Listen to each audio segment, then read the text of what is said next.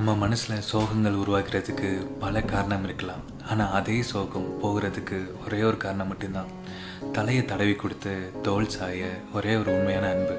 அந்த அன்பு மட்டும் நம்ம கூட இருந்தால் மட்டும் போதும். எல்லாமே கரைஞ்சி போயிடுதில்ல.